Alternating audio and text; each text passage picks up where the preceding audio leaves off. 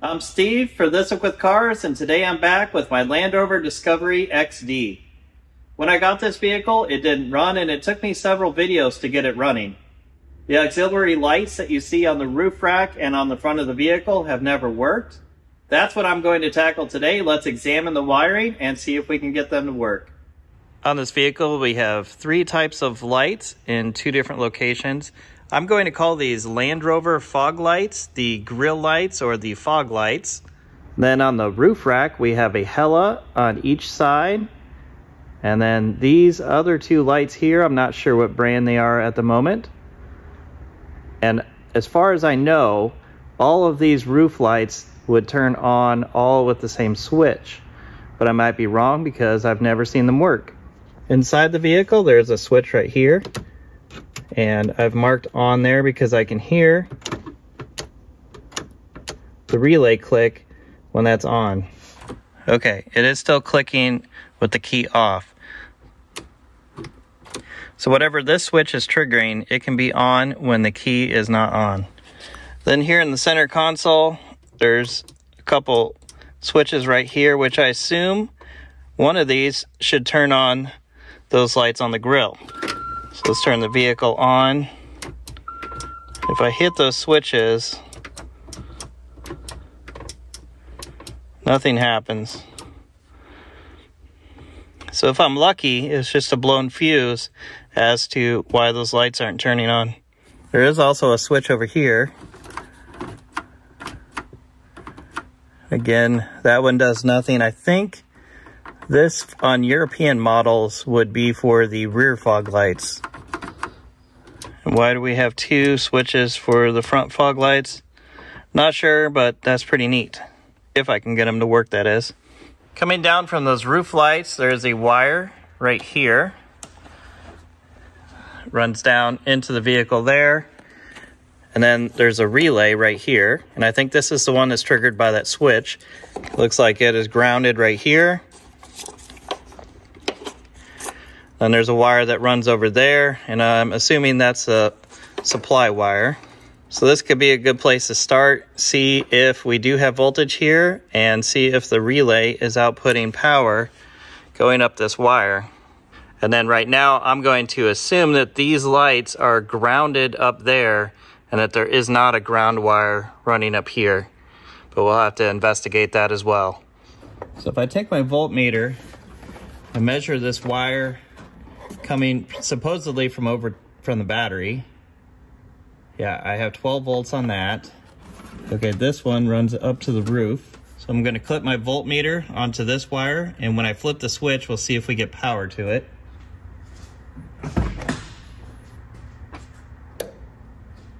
Yes, so there's power going up to those lights. So the problem with the lights is up there, either with the bulbs or with their grounds.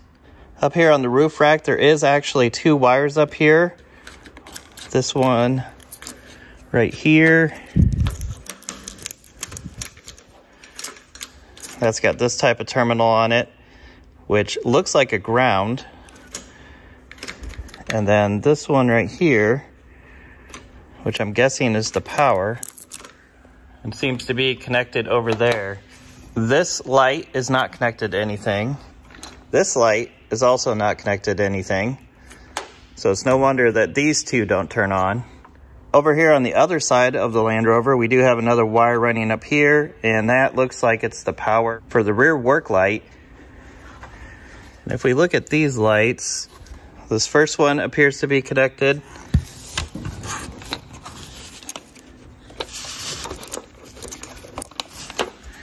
And the second one appears to be connected as well. So I will focus on these first two lights first and figure out why they are not working. So I've cut the electrical tape and pulled back this insulation. It looks like these wires, um, feels like there is some solder in there, but as you can see, they just balled up the wires and put a bunch of solder there and then just slipped this over it. This is not a good connection. I'm going to have to rewire all of these. So I might as well just cut all these wires off and then test the lights with some test leads and see if they even turn on. I've cut off the wire for this first light. I have ground to it. I'll supply power to it. and it does work. So if I get power up here, this light will work. Let's move on and test the next one. It's funny, I thought these wires were white, but they, they're actually just sun faded, and they used to be red. Let's test this one now. No light yet, but I haven't supplied the ground. It could be a bad ground. Looks like it must be grounded to the bolt that holds the light on. Nothing. So I think the bulb is bad in this one. On the next one, the ground is already disconnected, and so is the power. Let's put power to this one, see if it works. And it does work. Okay. And then here on this last one, this one is also cut. See if this one works. And it does. Okay, I'll pull this old power wire off, rewire it up to the lights, and then I'll double check and see what this is. But I think this is a ground that was run up here. I've made sure both of the wires are tucked back under this trim piece and I've wired up both the power and ground to this first light. Let's turn on the switch and make sure that this is working. Looks like it works, so I can continue the connections on to the other lights and I'll be done with the wiring for the lights on the roof rack. I have them all wired up now and three of them light. That one that we determined was not any good still does not turn on. Now that I have the wiring done, I'll take that light off and see if it's something that we can fix. I've taken that non-working light apart. Here's the bulb holder. I have the bulb out now. And if I touch it to the battery, you can see it does work. I can't believe that all these bulbs are still working after all these years. So I just need to put it back together and figure out why it wasn't working. I'm sure that it just wasn't getting a good ground. So I'll just test it every step as I put it back together. And then we should have all the lights up there working. I've put it all back together. Let's hit the switch. Now they all come on. So I can move on to the front lights now. Those lights on the roof, I had a pretty good idea on how they worked because the switch triggered a relay and I saw the wires from that relay running up to the roof. These lights on the front, I don't know what switch they're on, and that's a problem with troubleshooting why they don't work because I don't even know which switch I'm supposed to have on. So I guess I'll just turn them all on. Okay, I was messing around with the lights and I figured if this was a factory installed option, I must have to have the headlights on. Then I started to hit these switches over here. Now that one turned on. Let's check the front. And look at that, they both still work.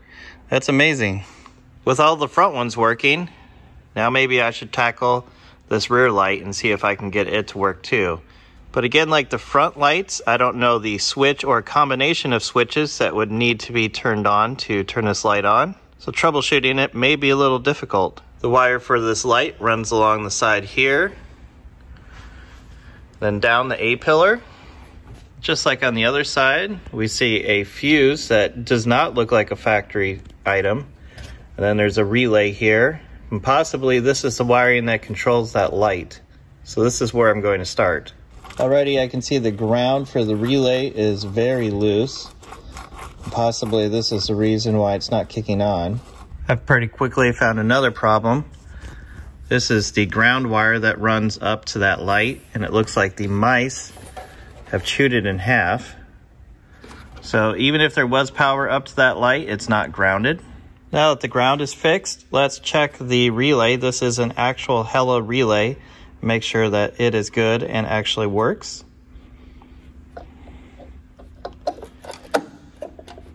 So just put in my relay tester. I have it set to 4 pin and not 5 pin. Hit the button. And looks like the relay is good. It is working. So if we get the wiring figured out, the relay is good and the light should turn on. This is my relay bypass kit. These look like relays, but they actually have switches on them so that I can activate things that use relays uh, without having the trigger working. This one would be for the 5-pin relays.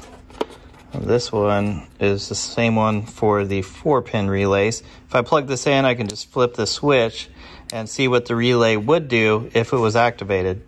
So I can just plug this in where the relay was. Now I have a toggle switch that I can do the same thing as turning the relay on. Let's turn it on and go see if the light works. Okay, the light is on. So we know all the wiring to the light works and we know that we have power there. And if we can just activate the relay, it should turn the light on and off. I've connected a jumper wire into the terminal that would activate the relay. And then I have that connected to my multimeter. And I have my multimeter paired to my phone so that I can hold my phone and watch what's happening on the multimeter. This allows me to hit the switches inside the vehicle and be able to see what's going on out here without having someone to help me. So we want to find a switch that gives us voltage at our multimeter. And I would assume that that rear light would be this one. Well, that's not giving us voltage. Let's try some other switches. Still nothing. We try different combinations. It doesn't look like any switch is turning that relay on. It could be a blown fuse, or the mice could have ate the wire somewhere, which might be impossible to find. I did pull out the manual. This is a special edition of the vehicle with the fog lights on the front and the work light on the back. I was just wondering if there was anything in here about how to operate it so that I can at least get an idea of where to start. Interestingly, the switch that I turn on my front fog lights is not 16. It's the one next to it, which isn't even pictured. This diagram also doesn't show that rear light switch. So I'm thinking that it's special equipment that I'm not going to have any documentation on. So here we go. That button is for the rear fog lights, which turn on when the ignition is on and the headlights are on. Didn't seem to work for my for my work light. Still here it shows only the one forward light. And the fuses, we have rear fog guard lights, fuse number 9. That looks to be the only thing in here that looks helpful. But of course there is a fuse right there at the relay. So I'm guessing it was added and it's not actually part of any of these. Here's the fuse box right here. I have already checked these all before, but I'll do it again. Main fuse that we are concerned about is the fourth one down on this side. They're all 10s, but let's just check them all because it only takes a second. If we hear a beep, it's good. This is our one right here. It's good.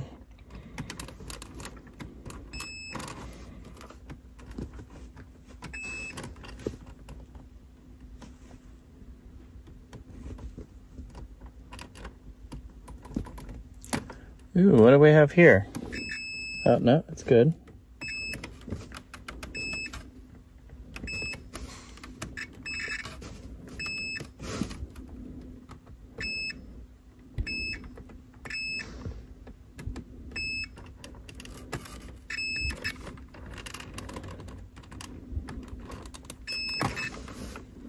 Okay, looks like they all work.